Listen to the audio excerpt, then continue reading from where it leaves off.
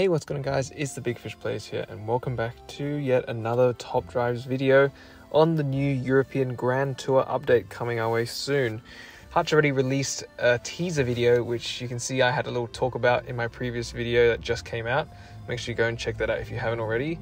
Um, well, we've got the first sort of tangible uh, look at the update, as in we've got the first four cars that we're going to be getting in this update is looking very promising. So the first car we've got looks to be like the brand new Audi S3, I want to say. I think it's an S3. Um, so yeah, we're finally getting an Audi update, which is much needed, as I mentioned in that previous video. Um, hopefully we're going to get some more of those uh, newer models as well. I don't even think the current RS6 is in the game. Uh, the current RS4 isn't, so hopefully we're going to see all of those coming in. Um, maybe some of those electric ones. We haven't. I don't. Oh, we got the Audi e-tron already, but I don't think we've got the e-tron GT. Um, things like that. So that will be good to have in the game. Um, next up, we got the. We got an Abarth. Uh, probably the. It looks like the Abarth version of the Fiat 500. So, um, great. The more the merrier, I guess.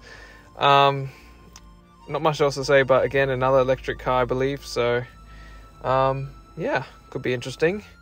Uh, next, big one, uh, a McLaren update at last. Looking like we've got the McLaren 765 LT here, which is a um, very highly demanded car, I believe, um, to be added to the game. Hopefully, we get things like the McLaren Speedtail, Artura, and some of the other special um, one-off ones, like the McLaren Sabre, I believe. Hopefully, we'll get some of those cool cars added to the game, but it's great that we're finally getting an update to McLaren. So that is really a stunning photo, that. Um, and finally, it looks like we have a Renault Megane of some variety. It's probably an RS. I don't know if there's like a special edition of it. I'm not too familiar, but looks like we are getting a Renault update, which is great because once again, it has been a while. Um, and yeah, also quick correction. In the previous video, I said Enter the Black Forest update was a year ago, but it's actually coming up to almost two years now. So um, a big German update is needed. So hopefully, in the next teaser uh, images we get, we'll start to see some German, more German cars, not just from Audi, but maybe brands like BMW or Mercedes, especially Mercedes, who's really in need of a refresh. So yeah, let me know down below what you guys think of these four cars revealed. What else do you want to see in this update? Um, let's get a conversation going down below.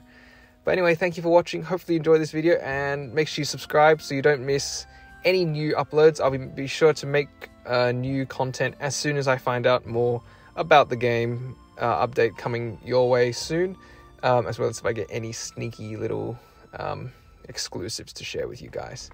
So take care, um, have a great day, and I'll catch you guys in the next Top Drive video. Goodbye.